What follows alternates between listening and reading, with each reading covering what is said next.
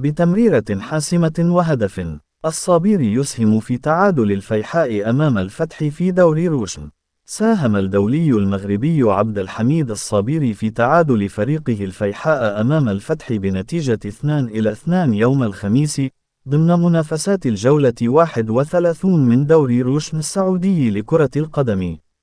وتقدم الفيحاء عن طريق فاشيون ساكالا في الدقيقة 29 بتمريرة حاسمة من الصابيري قبل أن يدرك الفتح التعادل عن طريق دجانيني في الدقيقة 47 وفي الدقيقة 69 سجل صابير الهدف الثاني للفيحاء فيما أدرك سفيان بن دبكة التعادل للفتح في الدقيقة 76 ورفع الفتح رصيده إلى 42 نقطة في المركز السادس بفارق الأهداف عن الفيحاء صاحب المركز السابع.